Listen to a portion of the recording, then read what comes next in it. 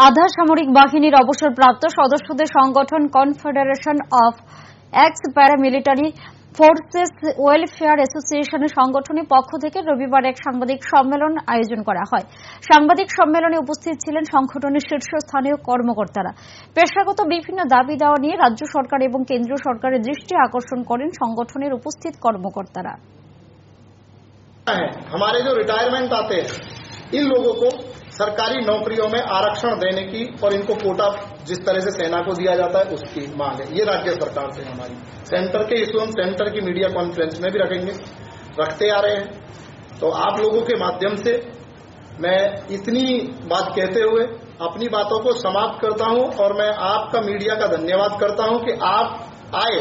और 2023 में आने वाले समय में यहाँ पे चुनाव है। हम चीफ मिनिस्टर जी से भी बात कर रहे हैं, गृह मंत्री जी से भी कर रहे हैं कि आप हमारी मांगों का समाधान कीजिए। संपूर्ण भारत के अंदर में हमारे लोग एकत्रित हो चुके हैं और प्रश्न पूछ रहे हैं अब यार हमारी मांग अगर नहीं करते हैं तो हमको क्या करना है? लेकिन हम कोई राजनीतिक गतिविधि को जन्म देना नहीं चाहते, ना ही हम किसी पार्टी का कोई समर्थन करते हैं। गैर राजनीतिक तरीके से